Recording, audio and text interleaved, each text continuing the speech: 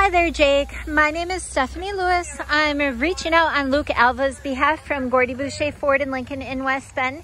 He mentioned you two had talked on the phone about this EcoSport, so we thought you'd appreciate just a quick little video so you could see that it's here, it's in great condition, and we would love to earn the opportunity to show it to you in person.